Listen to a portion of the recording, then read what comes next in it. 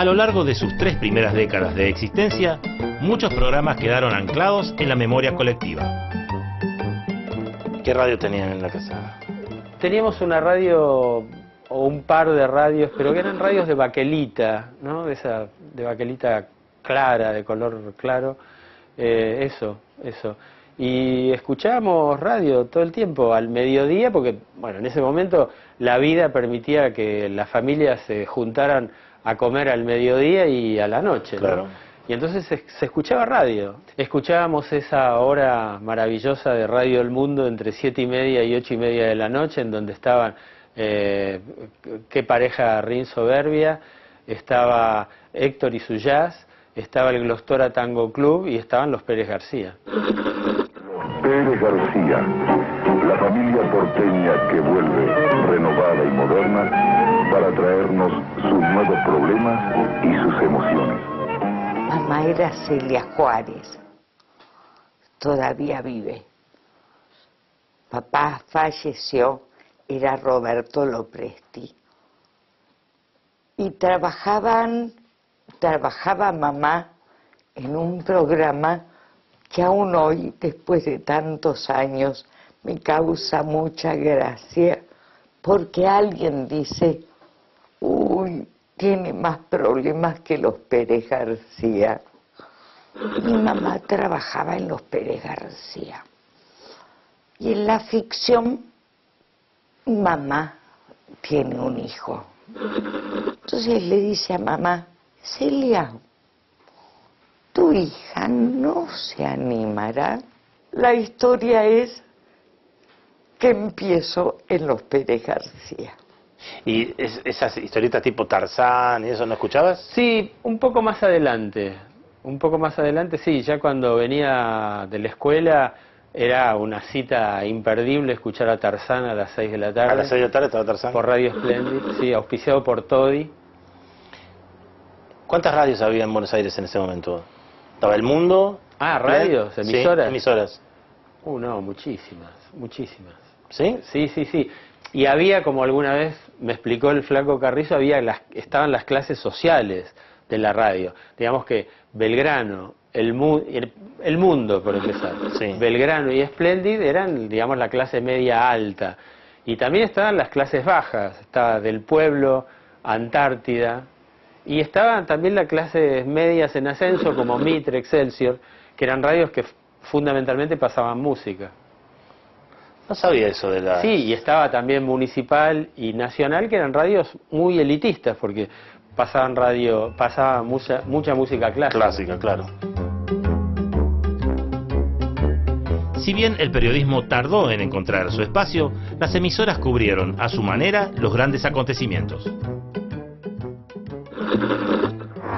Es este un reportaje exclusivo realizado para el servicio noticioso de Radio El Mundo de Buenos Aires, directamente en las montañas de Oriente, República de Cuba. Los locutores y periodistas que tuvieron la, oportunidad de trabajar en las redacciones de la radio recuerdan que la Segunda Guerra Mundial fue este, el acontecimiento periodístico que los puso a prueba. En Radio El Mundo se escucharon por primera vez en simultáneo las voces de Hitler, de Mussolini, porque la radio tenía este, buena sintonía con distintos servicios informativos que también eran de Radio El Mundo, a tal que la pudo seguir como muy pocas radios, ¿no? En cuanto a lo, a lo periodístico. Eh, fue un hecho que la ayornó en cuanto a la tecnología, los recursos eran muy pocos, ¿no? Y los locutores, los periodistas, los operadores se exigieron al máximo como para transmitirla simultáneamente. Y muchos hispanohablantes se iban enterando de los acontecimientos de la guerra en distintas partes del mundo a través de la onda corta de Radio El Mundo de Buenos Aires. La nación, el penosísimo deber de informar al pueblo de la República que a las 20.25 horas ha fallecido la señora Eva Perón, jefa espiritual de la nación.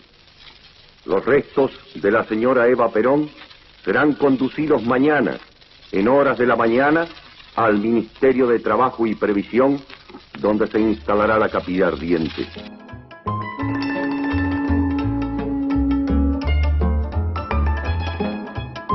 La ventaja de un medio basado en la imaginación permitía algunas picardías.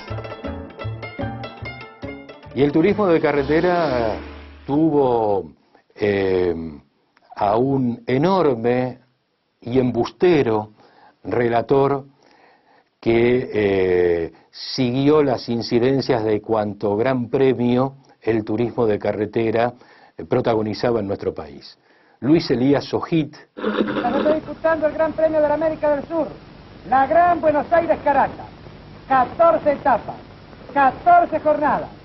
Y su equipo deportivo era el que habitualmente eh, simulaba seguir desde un avión, que no era un avión, las, eh, los pasos de eh, los punteros de esas carreras por los diferentes pueblos de las provincias de nuestro país.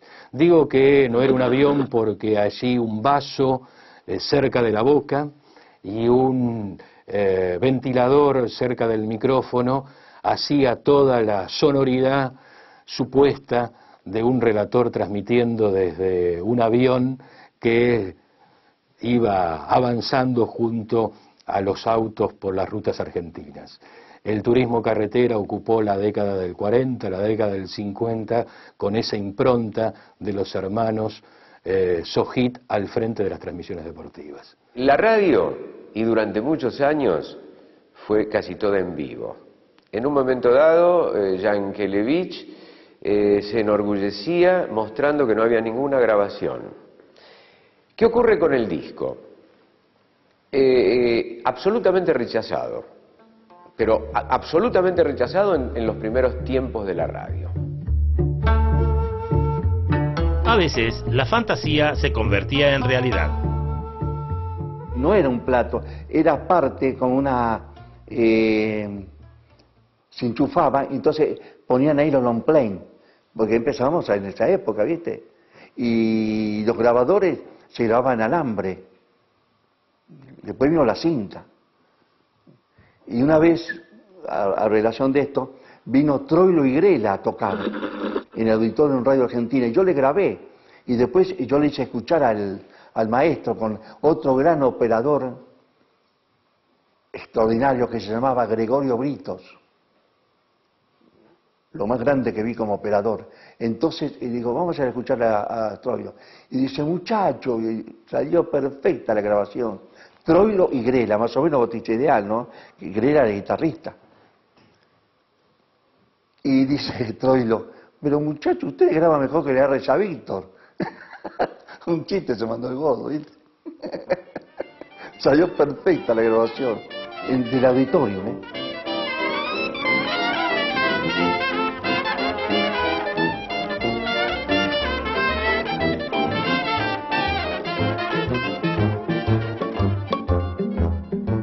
Disputa presidencial entre Juan Domingo Perón y la Unión Democrática en 1946 fue la primera campaña con la radio como protagonista. El peronismo comenzó un proceso de nacionalización de emisoras que continuó la dictadura de 1955.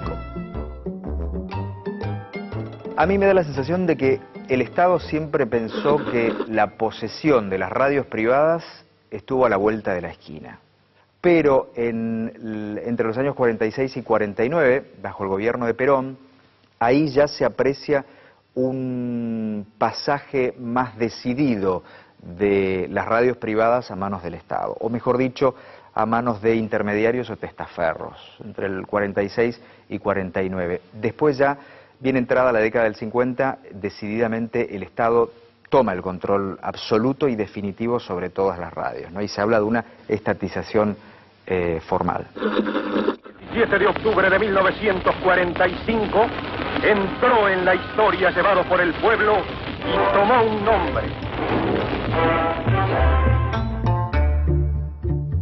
Con las primeras transmisiones de televisión, la radio no sufrió un impacto inmediato, aunque sus shows iniciaron una lenta despedida.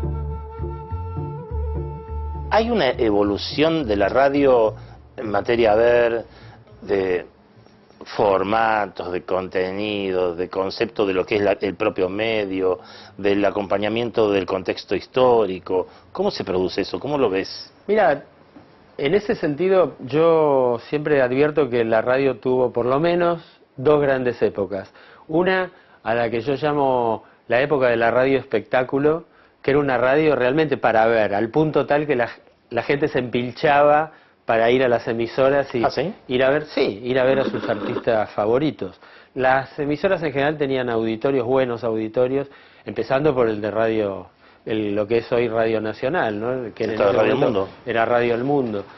Eh, esa, esa etapa de radio espectáculo, de radio en vivo, eh, yo la sitúo entre 1935, que es la fecha de fundación de Radio El Mundo, y 1960 y tantos, que es cuando la televisión, la llegada de la televisión privada pone en crisis a la radio. El 17 de octubre de 1951 se realizó la primera transmisión experimental de televisión en la Argentina. Desde hacía meses, los porteños veían crecer una antena en la azotea del Ministerio de Obras Públicas. Al principio se transmitieron exhibiciones artísticas con carácter experimental, concertistas, conjuntos folclóricos y danzas. Hasta se realizaron funciones privadas a las cuales concurría el público para conocer qué era eso de la pantalla chica. La televisión nace en 1951. La primera mitad de la década del 50 yo diría que no le afecta nada a la radio. Los televisores, los aparatos televisores de televisión son muy caros. Hay muy pocos, los compra únicamente aquel que tiene una situación como para poder erogar una cantidad muy importante de dinero, entonces no se difunde. Hay un solo canal de televisión y tiene una trascendencia pequeña, no afecta a la radio. En la segunda mitad ya hay televisores más baratos, ya se empiezan a fabricar en el país y ahí ya, ya se empieza a notar y no le hace mella. Y si le hace, le hace muy pequeña, es intrascendente casi. Pero tenemos que tener en cuenta que ese canal de televisión, que es el Canal 7, que se fundó en 1951, a partir de la década del 60, recibe eh, dos eh, eh, competidoras, que son el Canal 9 y el Canal 13, y al año siguiente el Canal 11. O sea que tenemos cuatro canales con mucha fuerza y que evidentemente llevan a la audiencia a la a abandonar la radio y quedarse con la televisión. La fascinación por la imagen de a poco dejaba en el recuerdo el mundo de fantasía de los primeros años de la radio. catalán, la dinastía de los catalán, que ellos hacían ruidos e inventaban ruidos. Era maravilloso. Había que verlos. Había que verlos. Por ejemplo, lo que hacían con el viento, lo que hacían las pisadas de caballos, que era una caja con piedritas y con cascos de caballo ellos hacían pisadas de caballos. Lo- ah, era, era maravilloso. Ellos tenían un montón de aparatos, que se, eh, tenían una puertita así chiquitita, con esa puertita hacían hasta un castillo, el ruido de una puerta de castillo, la sabían manejar maravillosamente. Pero todos eran cosas chiquitas, tenían toda clase de ruidos, todo lo que sea ruido los hacían ellos, no estaban como ahora grabados, no, no, no, eran en vivo. Los ruidos iban con nosotros al lado. Era maravilloso, la dinastía de los catalanes. Y la magia era la misma de todos. La misma de todos porque los efectos especiales eh, de, estudio, eh, por ejemplo, el problema del caballo, una caja rectangular con las gramillas, un coco partido y ahí hacía los efectos. Y si no, otra caja con arena, cuando era de acuerdo a lo que marcaba el autor en el libreto, había que hacerlo. La, verdad que se hizo muchas creaciones, fuimos casi creativos en ci- circunstancias, porque cuando se hacía la novela había pasos que hacer.